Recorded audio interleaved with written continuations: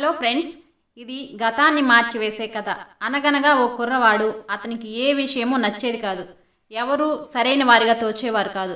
College నుండి ఇంటికి వచ్చేసరికి అతని మనసులో ఎంతో అసంతృప్తి మదిలో ఎన్నో ఆరోపణలు. ఆ కుర్రవాడి తండ్రి పాపం రోజంతా కష్టపడి ఇంటికి చేరుకునేవాడు. కాసేపు తన కుటుంబంతో కాలక్షేపం చేద్దామనుకునేవాడు.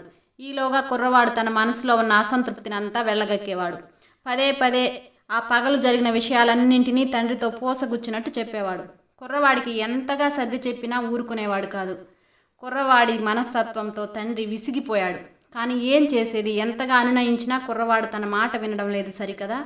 జీవితం మీద అతని ఆరోపణలు నానాటికి పెరిగిపోతున్నాయి. తన బతుకు బతకడం మానేసి ఎదుటివారి లోపాలనే అతను లెక్క పెడుతూ కూర్చుంటున్నాడు. ఆ కుర్రవాడిని కనుక ఇలాగే వదిలేస్తే అతను ఎందుకు పనికి రాకుండా పోతాడని తండ్రికి అర్థమైంది. దాంతో ఓ రోజు తన గురువుగారి దగ్గరికి వెళ్ళి తన గోడునంతా చెప్పుకున్నాడు. కుర్రవాడి తండ్రి చెప్పిన మాటలు గురువుగారు చిరునవ్వుతో ఆలకించాడు. తర్వాత నువ్వు రేపు ఉదయం నీ కొడుకుని నా దగ్గరకు విడిచిపెట్టి వెళ్ళు. మళ్ళీ సాయంత్రానికి వచ్చి అతన్ని తీసుకుని పో అని చెప్పారు గురువుగారు. గురువుగారు చెప్పినట్టే తండ్రి తన కొడుకుని మర్నాడు ఉదయమే ఆయన ఆశ్రమంలో విడిచిపెట్టాడు. బాబు ఇవాళ మధ్యాహ్నం వరకు నేను జపతపాలతో హడావిడిగా ఉంటాను. నువ్వు కాస్త ఆశ్రమంలో తిరుగుతూ కాలక్షేపం చెయ్యి. మధ్యాహ్నం నీతో మాట్లాడతాను అని తన గదిలోకి వెళ్ళిపోయారు గురువుగారు. గురువుగారి సూచన ప్రకారం కుర్రవాడు ఆశ్రమం అంతా కలియదిరిగసాగాడు యథాప్రకారం అతనికి అందులో చాలా లోటుపాట్లు కనిపించాయి. చాలామంది ప్రవర్తన కూడా అతనికి నచ్చలేదు. ఆ లోపాలన్నింటినీ గమనిస్తూ అతను మధ్యాహ్నం వరకు గడిపేశాడు. మధ్యాహ్నం గురువుగారు కుర్రవాడిని కలిశారు. ఏం బాబు నీకు ఇక్కడ ఎలా తోచింది? అని అడగడమే ఆలస్యం. తను చూసిన తప్పులన్నీ గురువుగారికి ఏకరువు పెట్టసాగాడు కుర్రవాడు. మంచిది. నీకు ఇంత సునిశ్చితమైన దృష్టి ఉందని నాకు తెలియదు. ఈ లోకం తీరుతో నువ్వు చాలా బాధపడినట్లు కనిపిస్తున్నావు. నీ బాధ తగ్గేందుకు నేను ఓ సరదా కథ చెబుతాను విను. పూర్వం అక్బర్ అనే రాజు ఉండేవాడు. అతని ఆస్థానంలో బీర్బల్ అనే మంత్రి ఉన్నాడు. అంటూ నవ్వు పుట్టించే ఓ అక్బర్ బీర్బల్ కథ చెప్పాడు.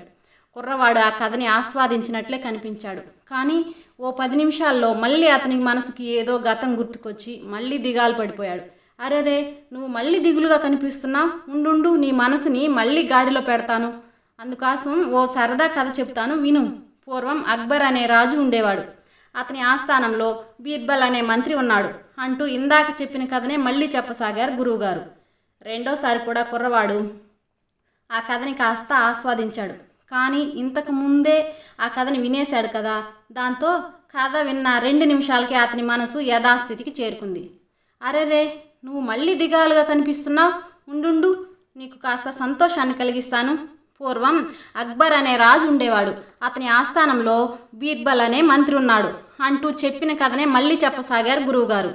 ఈసారి కుర్రవాడికి చిరాకెత్తిపోయింది మీకేమన్నా పిచ్చా? చెప్పిన కథనే మళ్ళీ చెబుతారేంటి? ఒకసారి విన్న కథని వెంట వెంటనే మళ్ళీ ఎలా ఆస్వాదించగలను? అంటూ చిరాకు పడ్డాడు. కుర్రవాడి మాటలకి గురువుగారు చిరునవ్వుతో నాయన ఒక చిన్న కథని మళ్ళీ మూడోసారి వినడానికే ఇంత బాధపడుతున్నావే? నీ గతాన్ని అవతలి వారు వందల సార్లు ఎందుకు వినాలి? నీ ఆరోపణల్ని పదే పదే ఎందుకు ఆలకించాలి?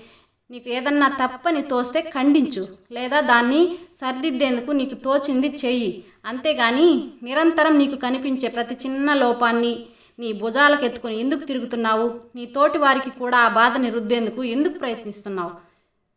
ఆ ప్రయత్నంలో నీ వ్యక్తిత్వాన్నే కోల్పోతున్న విషయాన్ని ఎందుకు గ్రహించలేకపోతున్నావు? అని అడిగారు గురువుగారు.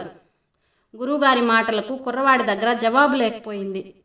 మా వీడియో మీకు ఎలా అనిపించింది కామెంట్స్లో చెప్పండి. మా ఛానల్ సబ్స్క్రైబ్ చేసుకోవడం మర్చిపోతే కనుక ఆ సబ్స్క్రైబ్ బటన్ క్లిక్ చేసి బెల్ ఐకాన్ కూడా యాక్టివేట్ చేసుకోండి.